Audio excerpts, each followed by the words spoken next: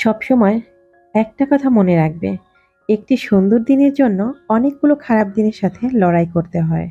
তাই যে মানুষটা সব থেকে বেশি ধৈর্য ধরতে পারে, একটা সময় তার কাছে সব কিছুই আসে।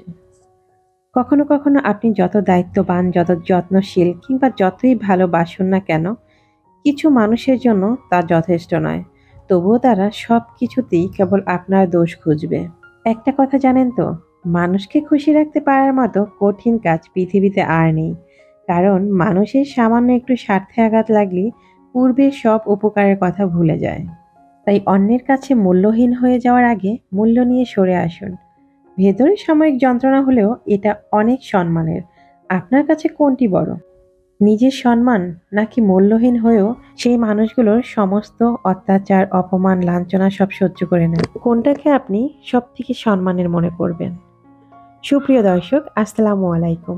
আমি লাকি, ঢাকা থেকে বলছি। লাকি স্মিনি ওয়ার্ল্ডের পক্ষ থেকে আপনাদের সবাইকে শুভেচ্ছা জানাচ্ছি। কাছে কিংবা দূরে, দেশ এবং দেশের বাহিরে যে যেখান থেকে আমার আজকের ভিডিও দেখছেন কিংবা দেখছেন না, আশা করছি আল্লাহর অশেষ রহমতে আপনারা সবাই খুব ভালো আছেন। আমিও আলহামদুলিল্লাহ আপনাদের সকলের দোয়া এবং ভালোবাসায় বেশ ভালোই আছি। আরেকটি ভিডিও নিয়ে আপনাদের মধ্যে হাজির হয়ে গেলাম। আজকের ভিডিওটি আপনাদের রিকোয়েস্টেড ভিডিও কিছুদিন আগে আমি কিছু কিচেন আইটেম শেয়ার করেছিলাম, সেগুলোর দাম জানতে চেয়েছেন অনেকেই, তাই সেটাকে নতুন করে শেয়ার করব। আর সেই সাথে আপনাদের কমেন্টে অনেক ধরনের রিকোয়েস্ট ছিল, অনেকে অনেক কিছু দেখতে চেয়েছেন, অনেকটা দাম জানতে চেয়েছেন। তো আপনাদের সেই সমস্ত প্রশ্নের উত্তরের ঝুলি নিয়ে আজকে আমি বসেছি। আশা করছি ভিডিওটি জুড়ে আপনারাও আমার সঙ্গেই থাকবেন। তা না হলে আপনারা যে যেটা জানতে চেয়েছেন সেটা কিন্তু মিস করে যাবেন। পরবর্তীতে আবার বলবেন যে, আপু, এটা জানতে চেয়েছিলাম বা দেখতে চেয়েছিলাম, দেখাননি বা জানাননি। আসলে সব সময় তো সব কিছুর উত্তর সরাসরিভাবে দেওয়া যায় না বা অনেকে বলেন ছবি তুলে দিতে হবে। তো ছবি তুলেও তো কমেন্ট বক্সে দেওয়া যায় না। তাই চেষ্টা করেছি আবারও ভিডিও আকারে আপনাদের সামনে সব কিছু তুলে ধরার জন্য। তাই সবাইকে রিকোয়েস্ট করব আপনারা ভিডিওটি জুড়েই থাকবেন। তা না হলে ভিডিওর অনেক কিছু কিন্তু মিস করে যাবেন। তো আপনাদের সাথে কথা বলতে বলতে আজকে কিন্তু সকালে রান্নাটা শুরু করে দিয়েছি। সকালে আজকে আর নাস্তার পর্বটি আপনাদের সাথে শেয়ার করলাম না। তাছাড়া শরীরটাও খুব বেশি একটা ভালো না, তাই ভাবলাম যত শর্ট করে পারা যায় ভিডিওটা আপনাদের সাথে শেয়ার করি। গতকালকেই বলেছিলাম যে আমি একটু অসুস্থ, তো আজকে আগের থেকে অনেকটা ভালো। আপনাদের সকলের দোয়া এবং ভালোবাসা আছে বলেই আমিও সুস্থ হয়ে আছি। আর আল্লাহর রহমত তো অবশ্যই আছে। রান্না করার এক ফাঁকে আজকে একটু কাঁচা আমের ভর্তা তৈরি করে নেব। শুধু কাঁচা আম নয়, এখানে পেয়ারা, আমরা সব কিছুই দেব। আমি জাস্ট ভর্তার মতো করব না জাস্ট বানিয়ে নিব। মানে লবণ, মরিচ দিয়ে যেভাবে সাধারণত আমরা মাখিয়ে খাই, সেভাবে মাখিয়ে নিব। আমার আবার একেবারে ভর্তা করে যে গ্রেটার দিয়ে গ্রেট করে খায়, ওটা আমার কাছে বেশি একটা ভালো লাগে না। তো আজকে যেহেতু কাঁচা আমটা ফ্রিজে রয়ে গেছে এখনও ফ্রিজে অনেক কাঁচা আম আছে। আমার বেশ কিছু আম রয়েছে ফ্রোজেন করা। সেগুলো অবশ্য ডালের সাথে দিয়ে খাওয়ার জন্য বা যে কোনো খিচুড়ির সাথে দিয়ে খাওয়ার জন্য আমি কিছু আম ফ্রোজেন করে রেখেছি। আর এটা তো এমনিতেই ফ্রিজে ছিল নর্মাল ফ্রিজে তো আমটা যেহেতু বড়, সবটুকু আমি নিব না, অর্ধেকটা আম নিব। আর সেই সাথে একটা পেয়ারা নিয়েছি, আর দুটো নিয়েছি আমরা। যেহেতু মানুষ কম, এটাই অনেকটা থেকে যাবে। আম থেকে যেহেতু আমি অর্ধেকটা নিব, তাই অর্ধেক পাশেরই খোসাটা ছাড়িয়ে নিয়েছি। তা না হলে বাকি আমটাও নষ্ট হয়ে যাবে। এরপর আমের উপরের অংশ থেকে এভাবে ছুরি দিয়ে ভালো করে কেচে নিচ্ছি। মানে এটা কিন্তু একদম আঠি পর্যন্ত নিয়ে কেচে নিয়েছি। এরপর আমি আমগুলোকে এভাবে কেটে নিচ্ছি, স্লাইস করে। দেখতেই পাচ্ছেন, একদম আলু যেভাবে আমরা ভাজি করি, সেরকম কিনতে হবে এটা। চেষ্টা করব একইভাবে পেয়ারা আর আমড়াগুলো কেটে নেওয়ার জন্য। আমড়াটা যদি এভাবে কাটা সম্ভব নয় কারণ আমরার ভিতরে একটা আঠি আছে, আমরা তো সবাই জানি, তো আমরা কাটতে একটু কষ্টই হবে। এরপর পেয়ারাটা আমি একইভাবে কেটে নিলাম। আম, পেয়ারা মাখাতে মাখাতে সবার কাছে একটা রিকোয়েস্ট করে নিচ্ছি। যারা যারা আমার ভিডিওর এই পর্যন্ত ওয়াচ করেছেন, যদি আমার ভিডিওর কোনো একটি অংশ ভালো লেগে থাকে প্লিজ ভিডিও নিচে একটি লাইক দিতে ভুল করবেন না। আর ভিডিওর কোন অংশটি আপনার কাছে ভালো লেগেছে, সেটা অবশ্যই কমেন্ট বক্সে জানিয়ে দিবেন। আর আপনি যদি আজকে প্রথম আমার চ্যানেলটি ভিজিট করে থাকেন, তাহলে আপনার কাছে রিকোয়েস্ট করব ভিডিওর কোনো অংশ যদি আপনার কাছে ভালো লেগে থাকে, যদি মনে করেন যে আমার ছোট্ট পরিবারটির সঙ্গে আপনি থাকবেন, তাহলে অবশ্যই আমার চ্যানেলটি সাবস্ক্রাইব করে পাশে থাকা বেল বাটনটি অন করে যাবেন। আর যারা যারা অলরেডি সেই কাজটি করেছেন, তাদেরকে অসংখ্য অসংখ্য ধন্যবাদ। তো আমার আমরা মাখানো হয়ে গেছে। আমি এখানে খুব বেশি কিছু ব্যবহার করিনি, সামান্য একটু কাসন্দি ব্যবহার করেছি। কাসন্দিটা বাচ্চারা খুব বেশি একটা পছন্দ করে না, যে কারণে অল্প পরিমাণে দিয়েছি। আর রীতিমতো লাল মরিচের গুঁড়ো, লবণ আর একটু সরিষার তেল মাখিয়ে নিয়েছি। এরই মধ্যে আমার রান্নাটাও কিন্তু হয়ে এসেছে। রান্না কমপ্লিট করে এরপর চলে এলাম একটু বেলকনিতে, যেখানে আমার না আসলে আসলে প্রতিদিন ভালোই লাগে না। কারণ আপনারা তো সবাই জানেন, আমি পাখি ভীষণ ভালোবাসি। তো বাহিরে প্রচণ্ড বৃষ্টি হচ্ছে, তো ভাবলাম যে দেখি পাখির কোনো সমস্যা হচ্ছে কিনা বা কোনো পানি আসছে কিনা। অনেকগুলো ছানা বড় হয়ে গেছে, তাই আজকে ভাবলাম কিছু ছানা এখান থেকে আলাদা করে দিব। আর কয়েকটা হাঁড়িতে দেখলাম অলরেডি ডিম পেরেছে। এই কারণে কিছু ছানা আলাদা করে দিব। এই যে নতুন একটা খাঁচা নিয়ে এসেছি, এটার মধ্যে পাখির ছানাগুলোকে আলাদা করে রাখছি। কত সুন্দর ইয়েলো কালারের কিছু পাখি হয়েছে। আমার কাছে কিন্তু বেশ ভালো লাগছে। এবার আমার পাখির কালেকশনগুলো খুব সুন্দর হয়েছে। এই যে দেখতে পাচ্ছেন, কিছু ছানা কিন্তু বাসার ভিতরেই নিচে নেমে গেছে। কারণ মা পাখিটা এগুলোকে নামিয়ে দিচ্ছে, কারণ তারা আবার ডিম দিবে।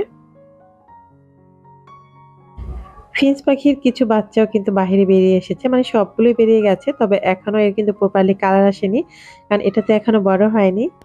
আর কয়েকটা দিন গেলেই এরাও কিন্তু বাবা মায়ের মতো এত সুন্দর কালারের হয়ে যাবে। আশা করছি তখন আপনাদের সাথে শেয়ার করে দিব। এখানে আরও ছোট ছোট কিছু ছানা রয়েছে। এগুলো একদম ছোট, এগুলোকে বাবা মার কাছ থেকে আলাদা করা যাবে না। তো যে ছানাগুলো বাসা থেকে নেমে গেছে, সেগুলোকে আমি আলাদা করে দিচ্ছি। তো আপনারা পাখির ছানাগুলো দেখতে থাকুন। আর আমি সেই সঙ্গে বলে দিচ্ছি, গত পর্বের ধাঁধার সঠিক উত্তর যিনি দিয়েছেন। আসলে গত পর্বের সঠিক উত্তরটি তেমন কেউই দিতে পারেনি। যিনি দিয়েছেন, তিনি অর্ধেকটা দিয়েছেন মানে একটা ফলের নাম বলতে পেরেছেন। আরেকটি বলেননি। তো আমি তো আগেই বলেছিলাম, যিনি সঠিক উত্তরটি দিবেন, তার নামটি মেনশন করে দেব। তবে যিনি সঠিক উত্তরটি ঠিকঠাক দিতে পারেননি তারপর একটা তো দিয়েছেন, তাই তার নামটি আমি আজকে মেনশন করে দিচ্ছি। তার আগে বলে নেই, গত পর্বের ধাঁধাটি ছিল একই ফলের দুটি নাম। বলো দেখি এরকম দুটি ফলের নাম। আমি আপনাদের কাছে জানতে চেয়েছিলাম, এরকম দুটি ফলের নাম যে ফলের দুটো নাম। ধাঁধার সঠিক উত্তরটি ছিল ডাব বা নারিকেল, আরেকটা ছিল এঁচড় বা কাঁঠাল।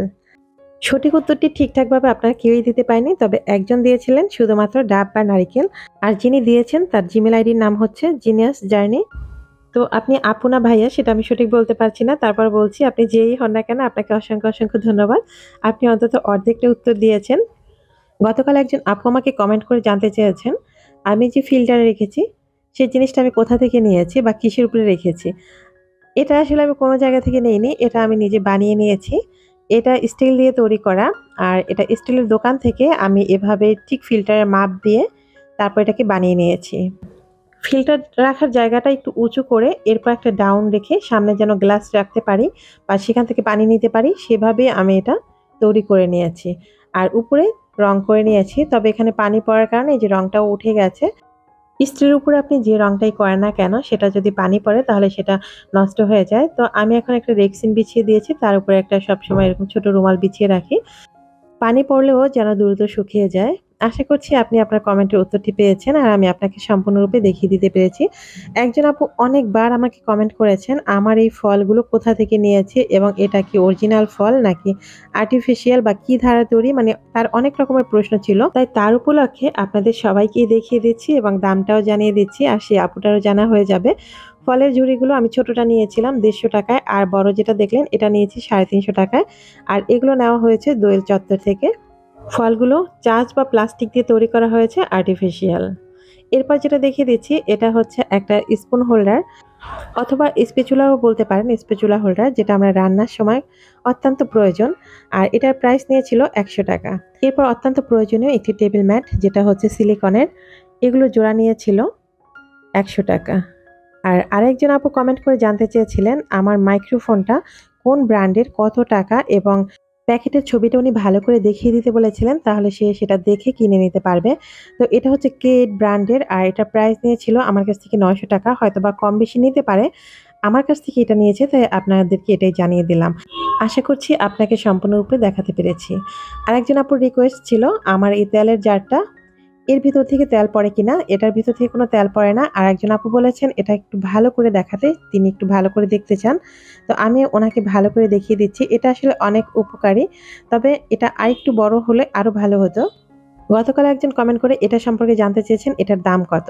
এখন এটার দাম আমি আপনাদেরকে আলাদা করে বলতে পারব না। এটা একটা সেট সহ কিনেছিলাম। আমি মেবি এক হাজার কি বারোশো টাকা হবে। এটার সাথে আরও কিছু পার্টস ছিল, যেটা আমি বাণিজ্য মেলা থেকে কিনেছিলাম। প্রতি বছরই এগুলো বাণিজ্য মেলায় পাওয়া যায়। এমনকি এখন যে কোনো ক্রোকাইজের দোকানেও আপনারা অ্যাভেলেবেল পেয়ে যাবেন। তবে এর সাথে কিন্তু অনেক কিছু থাকে। আর এরপর এই যে দেখতে পাচ্ছেন ডিজিটাল রুসনি এটার দাম নিয়েছিল একশো টাকা। এগুলো আপনাদেরকে আরও একটা ভিডিওতে আমি শেয়ার করেছি, কিন্তু তখন দাম বলা হয়নি, আপনার দাম জানতে চেয়েছেন, তাই প্রতিটা আবার আমি নতুন করে শেয়ার করে দিচ্ছি। এই যে পিঠার যে সাজটা রয়েছে, এটা নিয়েছিল সাড়ে সাতশো টাকা, এটা আমি অনলাইন থেকে পারচেস করেছিলাম। বিভিন্ন অনলাইনে এটা পেয়ে যাবেন। আর এই যে দেখতে পাচ্ছেন শাক সবজি ধোয়ার ঝুড়ি অথবা এটার সাথে তো ব্লেড তো রয়েছেই, বলতে পারেন এটা কিন্তু গ্রেটারও এর মধ্যে কিন্তু কয়েকটা ব্লেড সেট করা থাকে। এটা নিয়েছিল সাড়ে ছয়শো টাকা। এটাও আমি অনলাইন থেকে পারচেস করেছিলাম। এটাও কিন্তু অনেক উপকারী আমাদের কিচেনের জন্য। প্রতিদিনের কাজের জন্য এই ধরনের জিনিসগুলো আমাদের কিন্তু অত্যন্ত প্রয়োজনীয়। এরপর রয়েছে ডাল ঘুটনি। আর এটা নিয়েছিল দেড়শো টাকা। আর ছোটোটা নিয়েছিল একশো টাকা। আশা করছি প্রতিটা আপনাদের দাম সহ ডিটেলস বলে দিতে পেরেছি। আজকের মতো আপনাদের প্রশ্ন উত্তর পর্ব এখানে শেষ করলাম। কারণ আবার নতুন কোনো ভিডিওতে আপনাদের বাকি প্রশ্ন থাকলে সেগুলো করতে পারেন বা আমিও আবার যতগুলো প্রশ্ন বাকি রয়ে গেছে সেগুলো জানিয়ে দেব। একটা ভিডিওর মধ্যে সব কিছু আসলে দেওয়া বা শেয়ার করা সম্ভব না, সেটা তো বুঝতেই পারছেন। তো এরপর পাশের অন্যান্য কাজগুলো করে নিচ্ছি। যেহেতু ক্লিনিংয়ের কিছু কাজ বাকি ছিল, আর গতকালকে ওয়াশিং মেশিনে কাপড়গুলো দেওয়া হয়নি মানে ধোয়া হয়নি, যেহেতু বাইরে প্রচণ্ড বৃষ্টি তাই বৃষ্টির মধ্যে কিন্তু অনেক সময় কাপড় চোপড় শুকাতে চায় না। আর যদিও বা ওয়াশিং মেশিনে কাপড় দিলে এইট্টি পার্সেন্ট শুকিয়ে যায়, তারপর বাকি বিশ পার্সেন্ট তো আমরা রোদেই শুকাই। কারণ রোদে শুকানোর কাপড়ের ঘ্রাণটাই কিন্তু আলাদা। যেহেতু এখন বর্ষার সিজন সেই ঘ্রাণটা কিন্তু এখন আমরা পাচ্ছি না। তো যাই হোক, তারপর কিছু করার নেই। কিছু কাপড় চোপড় তো ধুয়ে নিতেই হবে। তো সেগুলো ওয়াশিং মেশিনে দিয়ে দিলাম। এরপর মেশিনের সামনের যে গাছগুলো রয়েছে, সেগুলোকে একটু ভালো করে গোসল করে দিলাম। মানি প্লান্ট গাছগুলোকে মাঝে মাঝে একটু গোসল করে দিলে এগুলো একটু ভালো হয়। আর দেখতেও সুন্দর লাগে, তা না হলে উপরে একটা ধুলোবালি পড়ে যায়। যেহেতু ঘর সাজানোর জন্য এগুলো আমরা ডেকোরেশন করি, আর সেটা যদি সৌন্দর্য বর্ধন না করে আরও খারাপ লাগে, তাহলে কি চলে?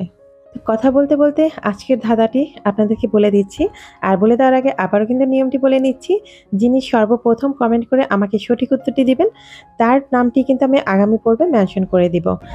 আজকের ধাঁধাটি হচ্ছে, কোন জিনিস গরম নয়, কিন্তু তাকে সবাই গরম বলে।